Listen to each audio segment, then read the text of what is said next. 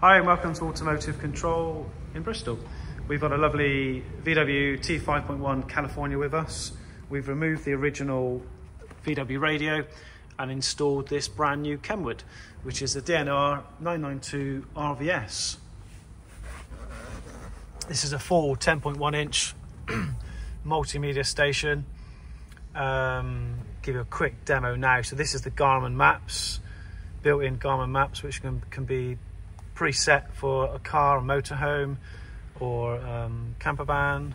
You can set your, your heights, your weights, etc. So it's quite useful. Um, and it also has Apple CarPlay, which is this symbol here, and Android Auto, which is just a symbol. Show a quick demo on the Apple CarPlay. So this is your, you know, your compatible apps. Every person's phone will vary slightly. Your home button, uh, your, your navigation mode there when the GPS loads up. Um, we've got, if we go back to the Kenwood home menu, that's what the Kenwood home menu looks like. And then we've done a full integration as well. So we have steering wheel controls working. We have parking sensor optics working front and rear.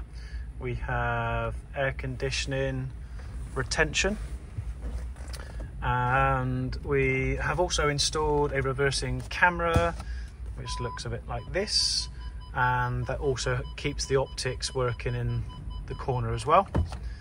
And we can also got a really nice option of viewing the reversing camera whilst we're driving in this mode all the time, which is quite a useful option.